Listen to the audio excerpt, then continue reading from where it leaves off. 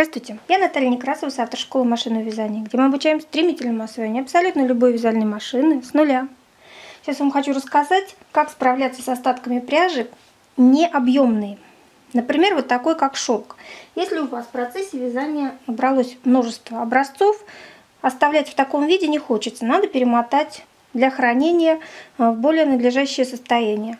Берем перемоточную машинку, но если я начну наматывать шелк на перемоточную машинку непосредственно, он не будет держать форму. Он такой скользкий, что э, очень тяжело будет его снять с моталки и удержать вот в этом состоянии.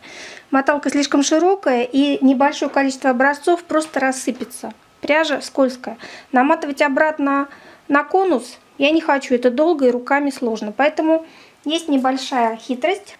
Можно взять втулку от бумажного полотенца и обрезать ее по длине перемоточной машинки. Поскольку втулка шире, достаточно взять липкую бумажную ленту и наклеить ее с двух сторон, приклеить к моталке. Таким образом она зафиксируется. Лента, которая будет замотана пряжей, никуда не денется.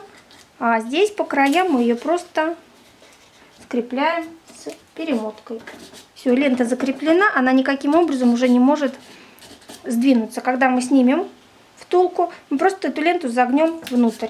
И теперь совершенно спокойно я могу брать и наматывать пряжу на перемоточную машинку уже через втулку. По движению я не оставляю хвостик, потому что он будет не нужен. Аккуратненько его закрываем и перематываем все наши образцы. Они прекрасно ложатся на основу, никуда уже с нее не денутся. И таким образом мы сможем с вами использовать эту пряжу еще раз. Она прекрасно сохранится до следующего использования.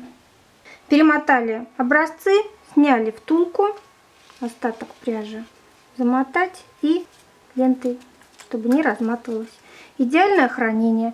Можно лишнее срезать, а можно так и оставить ставите перед нитеводом и у вас прекрасно работающая не конус, конечно, но втулка. Можно доработать данную конструкцию под втулку, э, либо создать втулку самостоятельно из плотного картона, завернув его на перемоточную машинку и вот таким же образом наматывать скользкую и плохо держащую форму нить.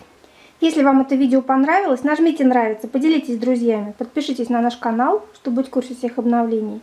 Обязательно приходите в нашу школу машинного вязания, где мы обучаем стремительному освоению абсолютно любой вязальной машины с нуля. Ваша Наталья Некрасова.